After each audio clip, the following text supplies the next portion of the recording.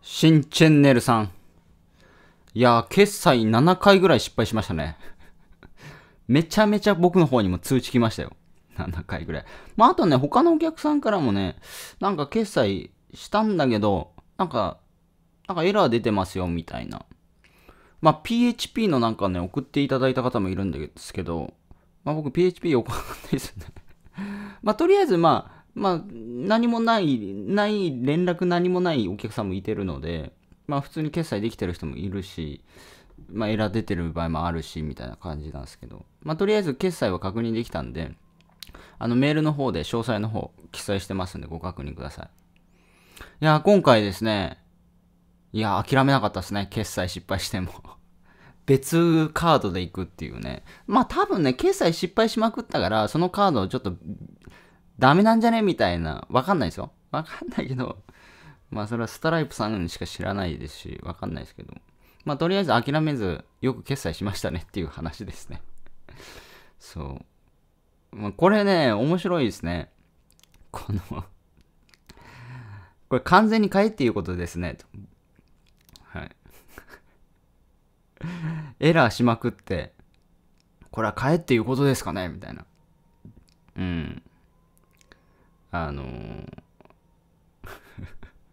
ま、この捉え方をなかなかしないですよね。普通だったら、あの、決済失敗しまくったら、もういいやってなるじゃないですか。で、ここでお伝えしたいのが、まあ、今日ね、ブログの記事にもちょっと書いたんですけど、他のお客さん、カード持ってない人もいて、で、ちょっと、あの、ご連絡いただいた人もいたんですけど、本当に欲しいものって、どうすかね？これ多分、多分、新チェンネルさんは間違いなくもう決済することは、あま、決めてたと思うんですよ。決めてましたよね。多分絶対決めてた。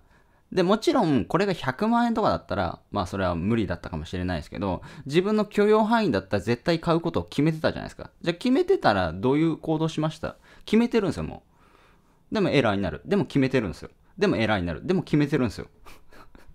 でもエラーになる。でも決めてるんですよね。だから行くんですよ。だから大事なことっていうのは 決めることですね。うん。だから本当に、あの、稼ぎたいんであるならば、それを決めちゃえば稼ぐしかないので、まあ僕稼ぐことを決めてるんで稼ぐしかないんですよ。これ超シンプルなんですね。まあ吉谷拓郎公式ブログ、シンプルイズベスト、稼ぐことを決めてるんで。で、稼、多くの人は稼ぐことを決めてなく、稼げたらいいななんですって言って、稼ぐことを決めない限り稼げないですよ。で、もはや稼ぐことを決めたとしても、その結果はどうなるかわからない。でも決めれば何度もトライするわけですよ。そうじゃないですか。決めてるんで。絶対行くん。例えばその、なんだ、絶対っていう、まあなんかの無料動画でも言ったかもしれないですけど、絶対って決めてれば絶対なんで。行くしかないんですよ。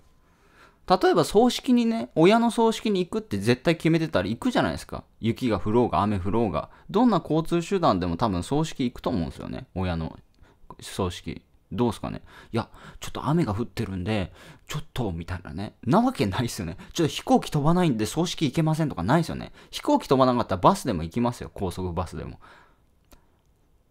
多分行きますね。本当に行くんだ。行くことを決めてたら、親の葬式行くって決めてたら、多分行きますよ。出席絶対するするって決めてたら。いや、コロナなんでちょっと怖くて、ちょっと東京行けないんすよ、みたいな。言います？多分言わないですね。親の葬式に出るっていうことを決めてたら、どんな状況でも出ますね。これは間違いない。どんな手段をとっても行きます。だから、決めればいいんですよ。決めれば人生は変えられます。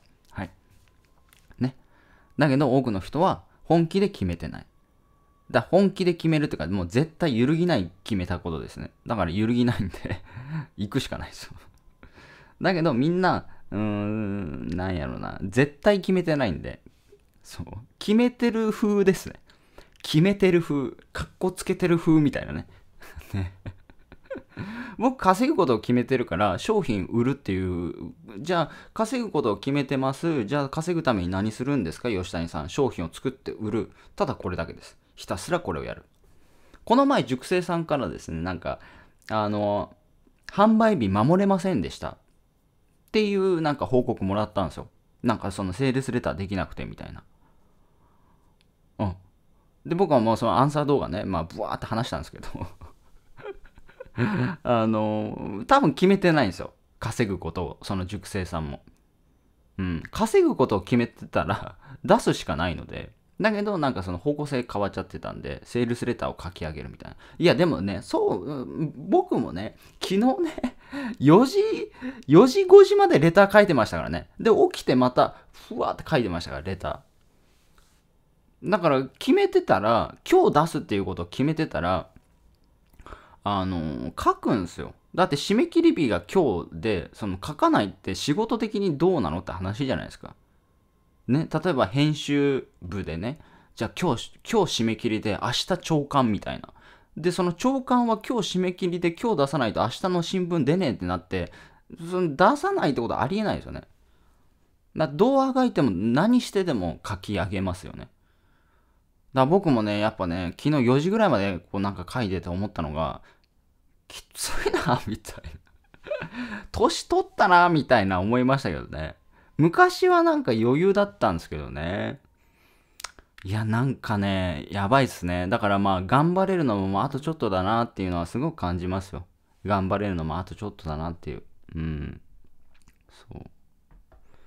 なんで、あのー、時間はないですからね、どんどんどんどん年取って体力なくなってくるので、できることもできなくなりますよ。今は僕はまだ4時とかまでレター書いたりとかね、できましたけど、これ80歳になったら絶対無理ですよ。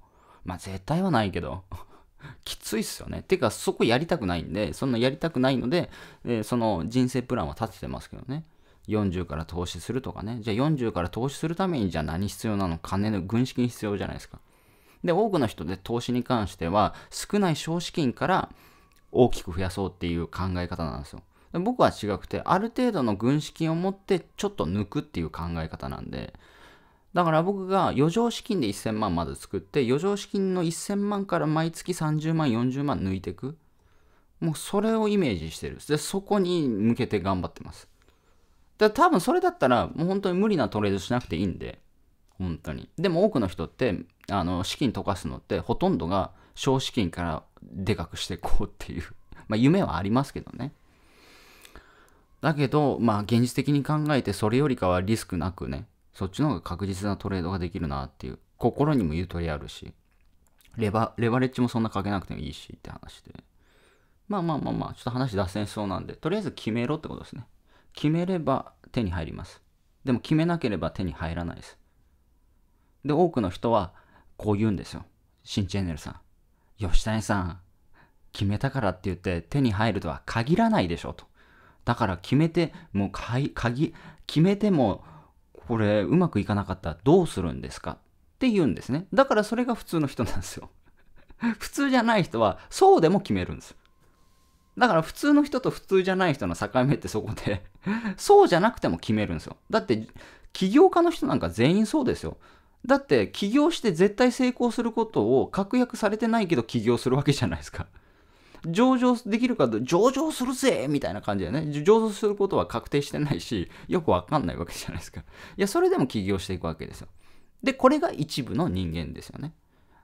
これが一部の人間です。で、大多数の99%の人間っていうのは、それが怖いから、え会社で結局働いて給料をもらう側で終わっていくって話です。だって本当にこれ、まあ、ネットビジネスなかった時からそうなんですけど、別に誰でも起業はできるわけじゃないですか。まあ本当に、あの、そうそう、いつの段階からか、その、0円でもね、0円とか1円だったかな資本金1円とかでもなんか会社作れるようになったんですよ。これ、ルールが変わって。昔はなんか有限会社で300万ぐらいなかったないとダメだったのかな資本金。でも今、今、結構前ですけど、多分10年前、結構前だと思うんですよ。資本金1円でも起業できますよみたいになったのは。だ僕も、あの、資本金1万円ですからね 1万円資本金1万にしました。はい。1万の資本金で会社作れますよ だから、でも、でもね、で、でも、みんなやんないんで。うん。だから本当にその自分の人生を変えたい、他の人とは違う人生を送りたいんだったら、それを決めることですね。うん、その、それ決めない、絶対的に決めない限り、まあ、変わらないでしょうね。まあ、今回の決済が全てを物語ってると、物語ってると思います ね、エラーしてもね、その決済していくっていう。なんで決済したんですか？決めてたからですよねって。ただそれだけですよ。はい。じゃあ、あの、あとはもうやる、やってくださいよ。あの、僕はまたセールスしますからね。新チェンネルさん、これいいっすよ みたいな。もうガンガンかけてきますからね。いや、新チェンネルさん、まあ、あの、ね、ネオも良かったけど、この、スーパーネオもありますね、みたいなね。まあ僕は稼ぐことを決めてるんで、売ることを決めてるんで、ね、ひるまないですね。ひるまずに売ってきますから。だって売ること決めてる、稼ぐこと決めてる。じゃあ稼ぐことは何なんですか吉谷さん。商品作って売ることですよ。それしかない。うん。ね、売れたからいいやっていうね。1回売れたからいいや。いや、2回、3回、いや、100回買わせだるみたいなね。もうドリアカ入るまでもフロント商品全部買えみたいなね。ドリアカ入んねんだったら全部買えみたいなね。セールスしてきますからね。大丈夫ですか？大丈夫ですか？買うことを決めてください。僕から買うことを決めましょう。いってらっしゃい。